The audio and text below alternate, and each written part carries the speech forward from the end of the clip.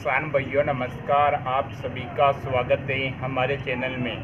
आज के इस वीडियो में हम बात करेंगे श्री जी कंपनी की डबल मोटर स्प्रे पंप के बारे में।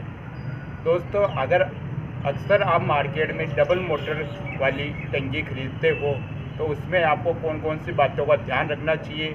उसमें कौन सी बेस्ट टंकी और कंपनी का प्रयोग करना चाहिए ताकि आपको लंबे समय तक स्प्रे करने में मदद करे। तो इससे के बारे में हम इस वीडियो में बात करेंगे। तो दोस्तों, आप हमारा वीडियो शुरू से लेकर अंत तक ज़रूर देखें ताकि पूरी जानकारी आपको इसी वीडियो में समझ में आए। जैसा कि दोस्तों, आप देख पा रहे हो, यह डबल मोटर और 12 12 की बैटरी इसके अंदर मौजूद है और यह थ्री कंपनी की आती है। अब हम बात करते हैं इसके अंदर कौन कौन से सामान आते हैं। तो दोस्तों इस बॉकेट से हम इसको निकालते हैं मशीन को।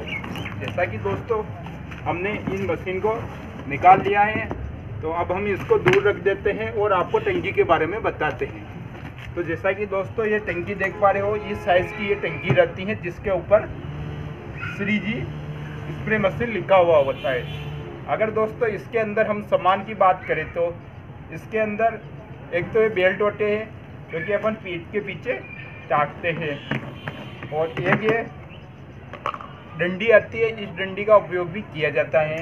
इसके अलावा इसमें ये छानने का आता है और ये साइड में लगाने का ये वाला आता है, जिस पर ये नली रुकती है। इसके अलावा इसके अंदर भी अनेक प्रकार के सामान आते हैं, जो कि मैं आपको निकाल के बताता हूँ। दोस्तों, आप देख पा रहे हो, एक गन। गन भी इसके साथ में आता है। गन या हम इसको एक क्लच भी बोल सकते हैं या देसी भाषा में कुछ लोग गन भी बोलते हैं। इसके साथ में ये पाइप आता है, जो कि सब इसके साथ में फिटिंग होता है। क्योंकि आप देख पा रहे हो, ये इतना बड़ा पाइप इसके साथ में आता है।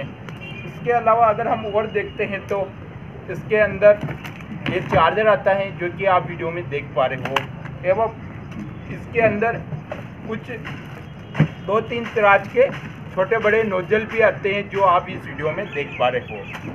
दोस्तों, अब हम इसको देखते हैं कि जो ये सामान कंपनी ने तो दे दिए हैं, लेकिन इसको लगाते कैसे हैं? तो जो ये बड़ी वाली काली नली होती है, इसको यहाँ पर फिटिंग किया जाता है। यहाँ पर इसमें कसने का सिस्टम होता है, इसको आप कस भी सकते हो। दोस्तों, इस प्रकार आप इसमें सामान लेकर कर सकते हो।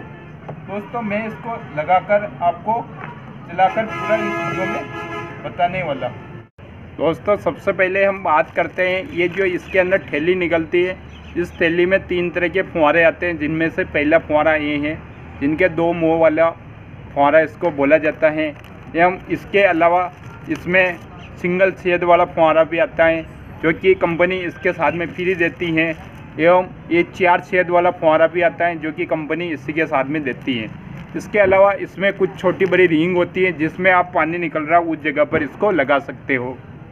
और एक वो कंपनी नोजल देती है जो कि दुकान पर उपलब्ध होता है। छः से आठ छेद वाला वो होता है जिससे कि अपन सदा सदा बार के लिए इसको यूज़ करते हैं। दोस्तों, मैंने पहले बताया था कि यहाँ पे ये काली वाली नली लगाना है। ये हमने नली लगा दी है। इसके आगे आपको एक गन टाइप का लगाना है। इसके आगे आपको लांस लगाना है, जो कि स्टील का आता है। इसके आगे आपको फिर फुहारा लगाना है।